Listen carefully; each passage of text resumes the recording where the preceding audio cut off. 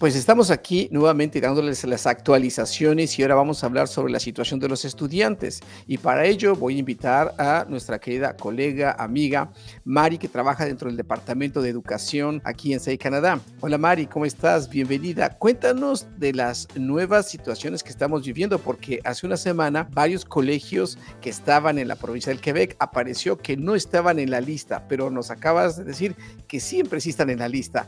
Brevemente, Mari, ¿cómo estuvo esta situación y cómo se desarrolla el día de hoy. Y así es, Jesús, sufrimos, eh, nos llevamos un gran susto hace eh, alrededor de una y dos semanas. Todos los de ley de escuelas públicas en los cuales son elegibles para el Postgraduation Work Permit venían apareciendo en su página web que ya no eran elegibles desde el primero de septiembre del 2023, algo que de verdad nos tenía bastante asustados al todo el sector educativo y por supuesto a nuestros estudiantes que habían ingresado en las sesiones de septiembre, enero y marzo respectivamente. Bueno, les quiero decir para lo que un DLI es Designated Learning Institution, entonces las escuelas designadas para que den un permiso posgraduado y como dijo Mari, fue un susto nada más, así es que calma, tranquilos, todos los que están en la provincia del Quebec y ya estaban en escuelas que estaban estudiando y que les iban a dar un permiso de trabajo, va a seguir continuando eso. Bien, y tenemos otra noticia también que aclarar en relación a los estudiantes que acompañan a un cónyuge. ¿Cómo está eh, esa situación? ¿Cuándo llegó el cambio? Bueno, el cambio se notificó desde el 22 de enero, como todos ustedes saben, pero se ha hecho efectivo eh, lastimosamente ahora sí. Desde el 19 de marzo se dice que exclusivamente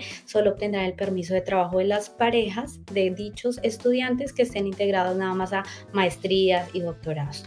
Entonces, ah. por ahora es, es, lo, que, lo que tenemos. Así es, entonces les queremos comentar que efectivamente, como dice Mari, ya este año el gobierno había dicho que los acompañantes no iban a tener un permiso si es que no está en estudios superiores, maestrías o doctorados. Y efectivamente, vean en la página del gobierno de Canadá, a partir de hace dos días y el 19 ya está claro que usted solamente si está en un doctorado, en una cuestión específica ah, de farmacia, eh, veterinaria, podría tenerlo. Pero si no, también usted, si ha estado aquí antes del 19 y quiere renovarlo, hay que tener ciertas condiciones como el permiso de estudio, que esté aún en, en las escuelas que están estudiando. Así es que, bueno, solamente les informamos el día de hoy que pues ya eh, a partir del 19 de marzo del 2024 las personas que acompañan a los estudiantes no tienen derecho ni a renovarlo o a obtenerlo bajo ciertas condiciones. Así es que si usted tiene alguna particularidad y cliente de Canadá, contáctese con nosotros. Si no, le estaremos informando aquí sobre todos estos cambios de inmigración. Entonces, muchas gracias, Mari. A ti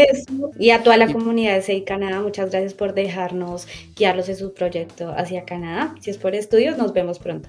Así es, que la pasen muy bien, cuídense, hasta luego.